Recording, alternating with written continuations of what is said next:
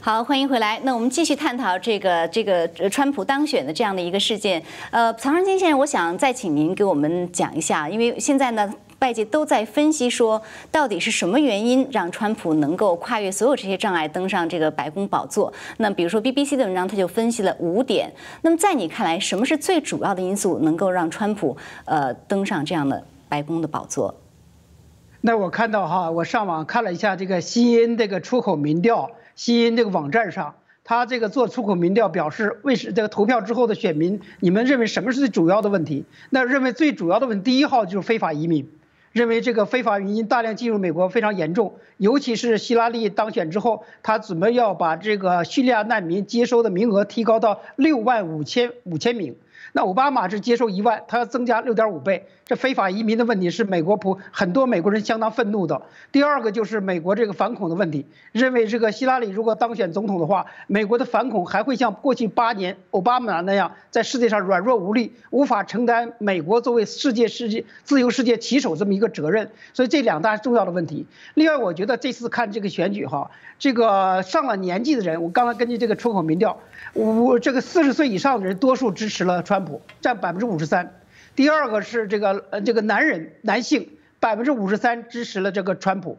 第三个白人五十八支持了川普，第四个基督徒的话，白人基督徒尤其福音派百分之八十一支持川普，还有一个就是红色支持川普，共和党的政治理念变成是红色，那民主党是蓝色，那一般认同共和党理念的人多数是支持了川普，在以往开始这个共和党初选的时候有民调。百分之二十四的共和党人说我们不会去投票或者投票投给希拉里，但是这次出口民调根据西恩的网站公布的数字，那么川背叛这个共和党投给希拉里的只有百分之七，没有二十四，反而是百分之九，支这个叛离了民主党，民主党支持者百分之九。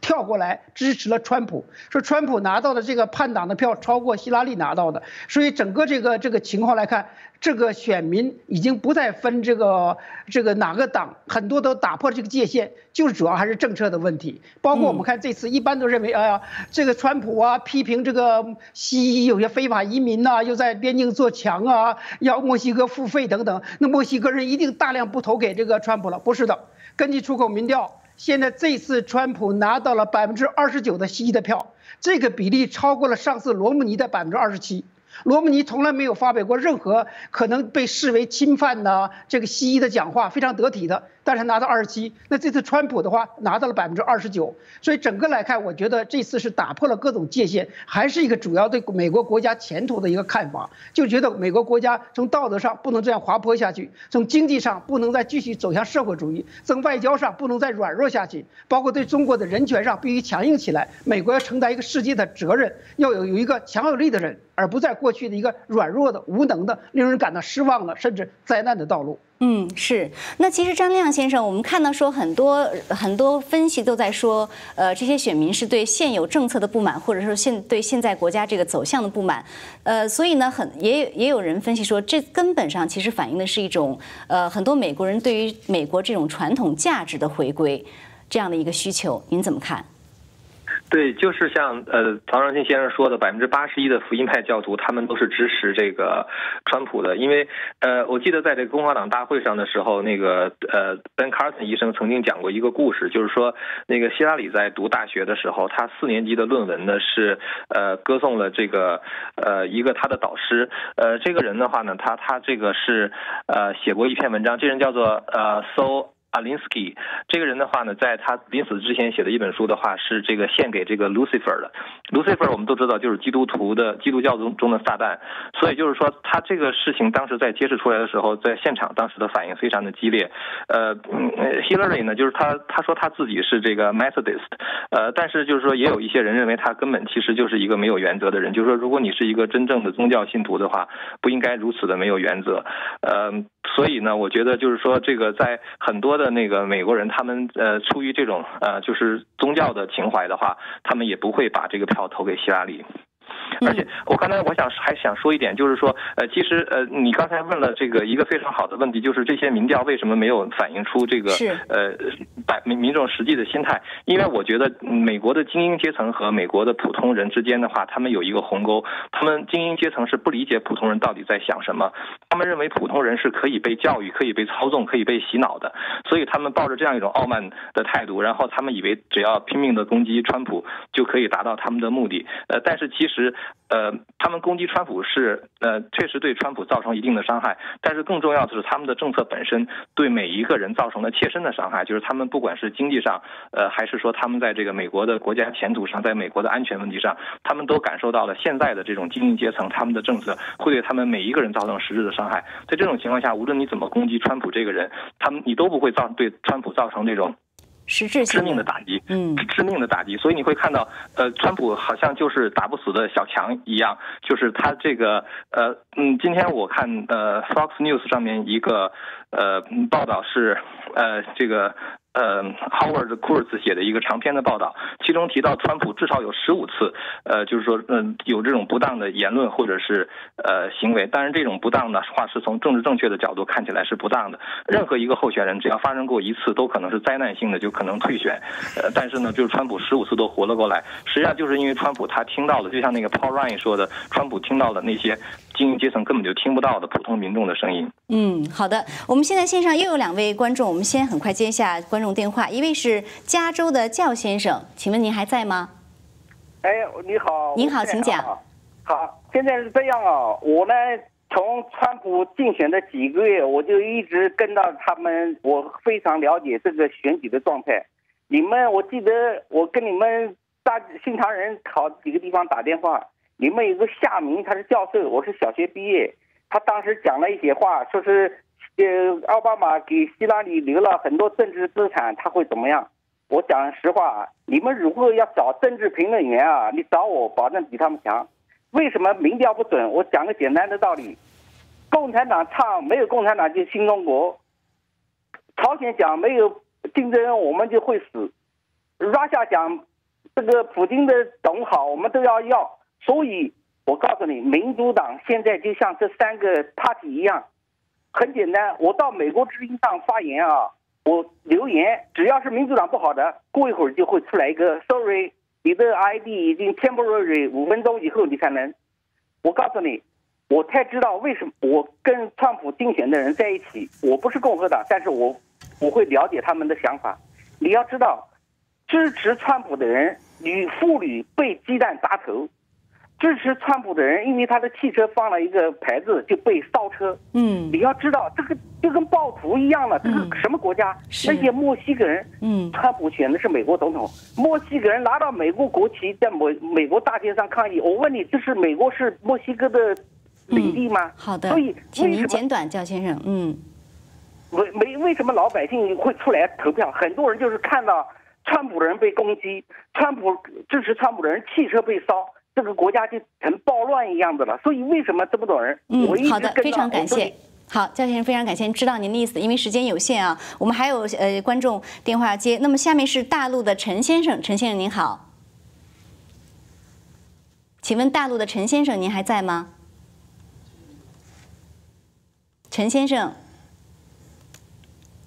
好，呃，那可能陈先生现在暂时不在线上，我们还是继续。不过，我想问一个问题啊，就是刚才谈到希拉里，希拉里可以说拥有天时地利人和，他的这个丰厚的从政经验，媒体一边倒的支持他，还有广泛的人脉和资金，为什么他这次落败了？对，就像我刚才讲那个。呃，川普的当选不是他个人的胜利，而是美国民众的胜利。很多愤怒愤怒美国人的胜利。嗯同样，希拉里的落败并不是他个人的落败，是整个建制派的落败，是整个美国现状的一个一个考验，美国政治的一个改变。说把这个称为美国政治运动。希拉里很多人锁定他这个电邮门事件，其实我不认为这个是个重大事件。嗯，因为这样的事件在没有电子邮件的时代，不知多少政治领导人有失误。只不过这是一个电子邮邮的是，而且还有那个危机啊，那个解密在旁边那个监督挖掘。说这个希拉里他有很多的负担，第一个负担是他本人，他不受欢迎的形象，那种建制派的传统的这种政客的形象，不受欢迎的形象，这个是根深蒂固的。第二个，他背负的负担是什么呢？就是他不仅有自己的负担，还有奥巴马的负担。说奥巴马执政八年不受欢迎，这个民众对奥巴马已经不满，愤怒情绪由此而来。但是奥巴马呢，这个出来积极的给他站台，那么看上去呢，奥巴马在还他的一个人情，因为二零零八年奥巴马夫妇欠希拉里一个人情，奥巴马夫妇是真心的出来给他站台，而那个希。拉里也认为呢。人情难却，也觉得可能借助奥巴马的风光，但实际上这个站台是灾难性的。这个虽然有一个主流媒体有个民调，现在我也表示怀疑，说奥巴马卸任的是有百分之五十四的好感度在民众，但是我现在表示怀疑，是奥巴马站台当时说一个说法，说奥巴马的政治遗产会延续给希拉里，希拉里由于这样的政治遗产的延这个延续啊而获得什么？但是现在看来是一个灾难。而且另外一个民调，这个在我就就是说了这个民调，我另外提一个民调，就是昨天很多民调都显示美国的股市会大跌七百点或者。百分之二十五，结果今天我一看股市呢，这个先跌后升，最后的结果是，呃，这个道琼指数升到二百五十六点七五点，那么这个纳斯达克升了这个五十八点七八点，而那个 S and P 就是这个这个叫什么呢？标准普尔五百，嗯，升了是呃这个二十三点七零点。就全面上升，说显示了市场和这个呃美国民众的信心重拾，说并不是那个，所以说希拉里的失败是一系列政治负担的一个后果，包括民主党的负担，最重要的还有一个美国政治周期的到来，因为从一九四零年开四零年开始，基本上只有一次一个党派延续了三任总统，就是里根执政八年，后来延续给副总统延了一年，民主党从来没有延续过，说政治周期到了，说希拉里今天我今天刚好碰到了希拉里在这个八大道三十五街。的一个旅馆，New York Hotel。嗯。发表演说，我经过那里的时候，我本来想进去，进不去，人太多。那么他的演说中就说了一句话，他无法打破这个坚硬的天花板，那么只能留待将来，就女性的总统留待将来，终有一天要打破。我很佩服他这样的这个坚韧的力和这样的预见力，同时他的宽广的胸怀，他号召大家起来，给川普一个领导国家的机会，大家应该 open mind，打开自己的胸怀，给他一个机会，支持他。奥巴马也表示了一个胸怀，就大家都知道我跟川普的公开的分歧，这不是一个秘密，但是我们会保证权力的。平稳过渡，但是我说的希拉里就说失败不要集中在个人身上，他背负了很多负担，包括政治周期的负担。政治周期到了，民主党该下台了。嗯，呃，我还是要问方大为先生一个问题，之后我们再进广告。呃，方先生就是说，呃，刚才破空提到了，就是同一个政党不能连连过三届的这样一个魔咒。呃，那您认为希拉里的败选在多大程度上是因为政党的包袱，而在多大程度上是由于他个人的原因？